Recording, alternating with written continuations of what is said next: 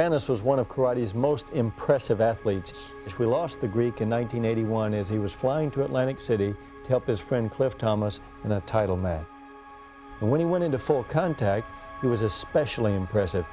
Uh, it's a beautiful sport to watch. It's completely different from boxing. The people that, that like boxing love full contact karate, especially when the feet go up towards the head. It's like magic watching it.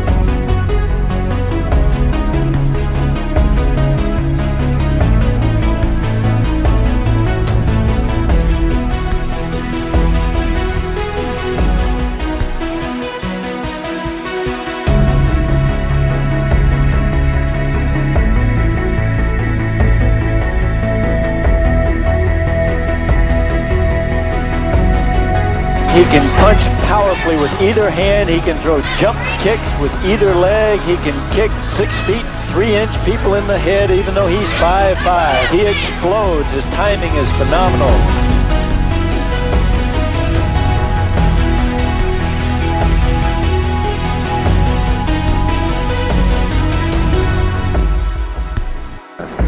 Havanas is uh, amazing. I have never seen anybody with such power at that weight class.